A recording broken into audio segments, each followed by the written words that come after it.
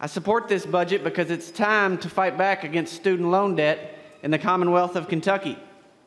This budget does that. Student loan debt is the growing crisis of our time. Yes, we're dealing with the pension crisis today, but the crisis of my generation and the generations to come will be the personal debt that our students are saddled with to go to school. Student loan debt is over $1 trillion in this country. It is the most collectible type of debt. As you know, Mr. Speaker, it's not dischargeable. It's like a chain around a student that follows them through the life of their loan or the end of their life, whichever comes first. Seven out of 10 graduates from higher education institutions in America graduated with student loan debt last year. It doesn't only affect my generation. Ages 50 to 59 went from $34 billion in 2005 to $112 billion in 2015. We used to think of student loan debt as temporary, but for a growing number of families, it's multi generational and it's going to last many people their entire lives. African American students who earn a bachelor's degree today are more likely to graduate with student loan debt and have an average higher student loan debt than the balances of all other students who take on debt to finance their education. The average undergrad debt in Kentucky is $25,000, and that is rising every day.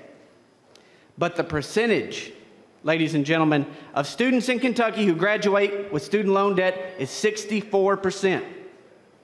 That ranks us 18th among all states. When I went to the University of Kentucky as a freshman in 2001, my KEES money paid my tuition. By the time I graduated, that was not the case. And as many of you know, the tuition cost today, KEES money can barely put a dent in. Since the recession, Kentucky has cut money from higher education, and our universities have responded by raising tuition, forcing students to take out ever growing loans. We cannot afford to keep pricing our students out of college. The governor's budget will guarantee higher education is less affordable and tuition will increase across this Commonwealth. We have got to fight to invest money in our schools so that Kentuckians can go to school debt free. We've heard over and over how we can't balance the budget on the backs of the future generations.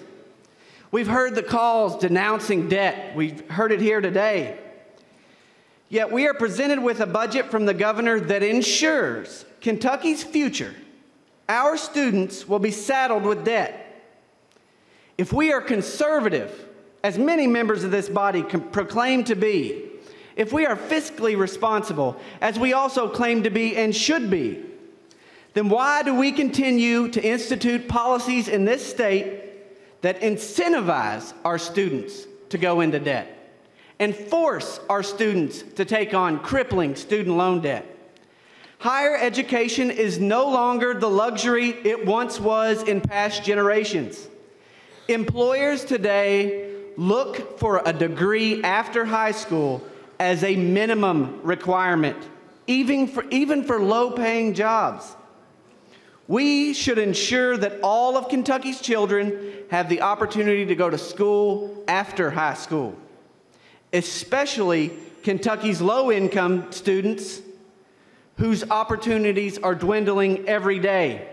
President Lyndon Johnson said poverty must not be a bar to learning, and learning must offer an escape from poverty.